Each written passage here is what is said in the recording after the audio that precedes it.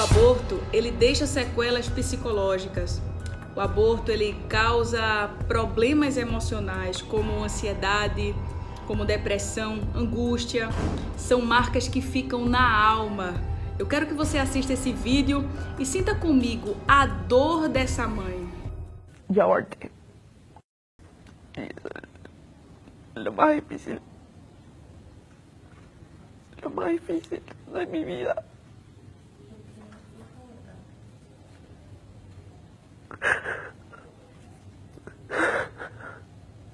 Yo aborté un 17 de abril, dos días después de mi cumpleaños.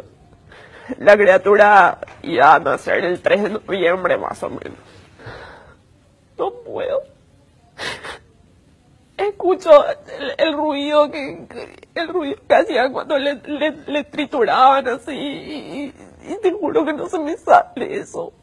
Digo acá, no, no estoy tranquila, o sea, no, no puedo borrar. No puedo.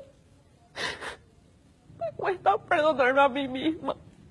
Por más que yo me haya confesado, yo no estoy tranquila conmigo misma. Me siento una asesina.